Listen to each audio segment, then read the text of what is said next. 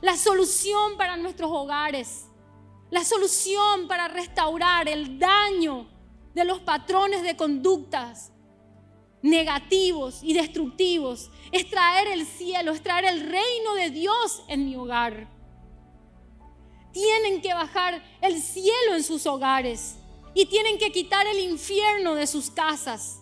Paguen el precio por hacer de sus hogares la mejor experiencia de sus hijos.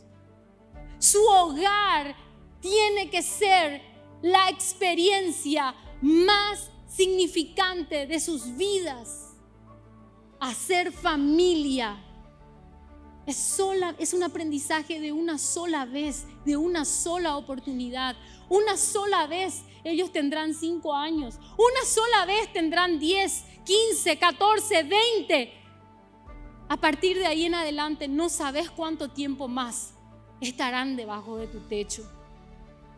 Así como ir al cielo o al infierno depende de una decisión, también hacer de tu casa un infierno o dejar el infierno para atrás depende de una decisión tuya.